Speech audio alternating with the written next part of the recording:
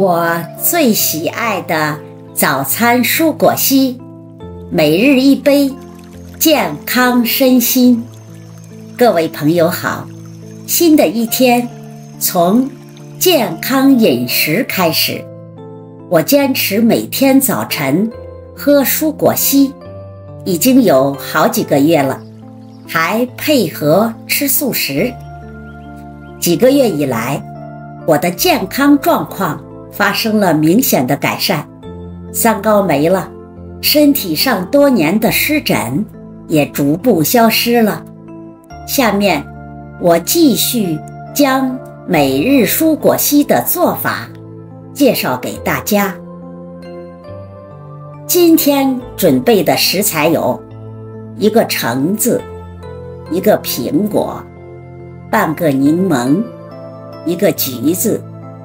一小块生姜，半个甜菜根儿，一根胡萝卜，三根羽衣甘蓝，半根黄瓜，一小颗生菜，两根芹菜，少许黑莓。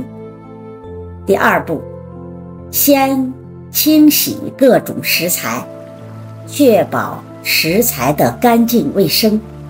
然后，将水果去皮、去核，切成小块儿；蔬菜切成小段儿，全部放入破壁机中。最后，加适量的温水，温水的温度一定不能太高，一般不超过摄氏四十五度。第三步，启。动破壁机，粉碎均匀后，倒入杯中，最好二十分钟内饮用完毕。另外，为了节约大家的宝贵时间，我们以文字方式在每期视频的说明区介绍一种蔬菜或。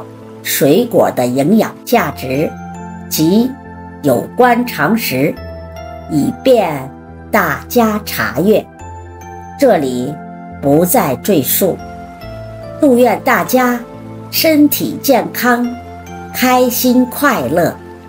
谢谢大家的收看，下期再见。